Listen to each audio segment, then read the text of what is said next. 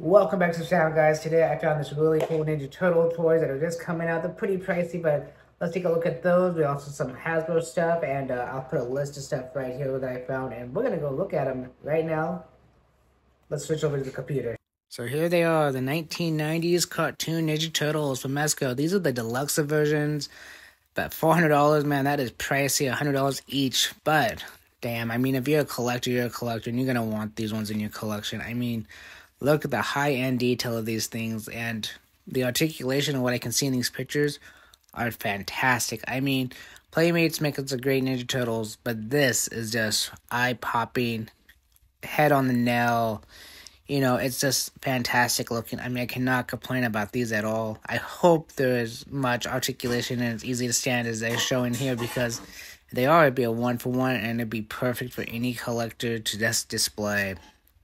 But the things you get with this, the different heads, the bandanas, the stands, all the hands, the communicators look fantastic one for one from the TV show. The weapons, I cannot complain about this at all. These accessories for $400 are just like perfect. Even the lightning effects, you know, the pizza, the pizza boxes. I mean, it's just so much you're going to get for $400. It's fantastic. I mean, these turtles are awesome. And I'm going to show you the list of accessories right now.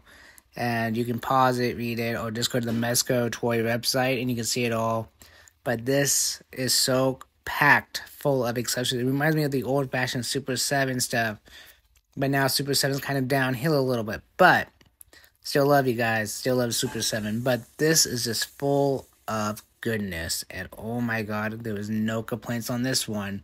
This one would be worth the $400. So if you like Mezco toys, here it is, Ninja Turtles 1990s. So let's switch over to Hasbro. So this is music from the original animated series.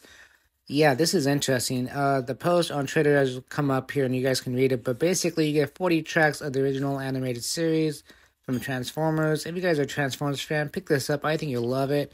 And uh, yeah, let's move on to the next story. Next up is Bumblebee and Cliffhanger. Yeah, that's right. CO3 Bumblebee and CO4 Cliffhanger is back again. You know, Transformers as strong as ever. And next is Star Wars. Yes, that's right. The Black Series, the Clone Wars are back. You know, Star Wars, strong IP for Hasbro. They're never going away. That is Hasbro's strong IP. So I decided to look at the Hasbro Pulse website and see what I could find for Power Rangers because I was curious. I know the Lightning Collection's dead, everybody says. But I want to see what I could find that we still could buy today. And there's a lot of things sold out, but this one is never sold out anymore. This is the Dragon Dagger. You know, this thing has been out, in, out, in. But if you haven't bought it, I would suggest buying it now before it's too late because even though it's on Big Bad Toy Store, Entertainment Earth has it up for pre order. Hasbro is going to make sure you get it. So if you haven't got one yet, you should probably go buy it. You also can buy the Red Ranger helmet that's pretty cool.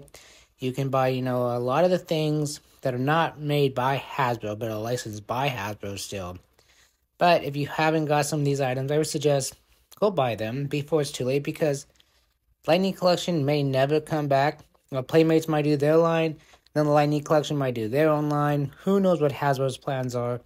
Are we still going to get a 2025 movie or even a 2025 series? Who knows? But these characters, are still up for ordering. They're on discount right now. But being a exclusive to the con, who knows why they're still up because they keep popping up. I think they were supposed to be one, but I don't think they ever became one.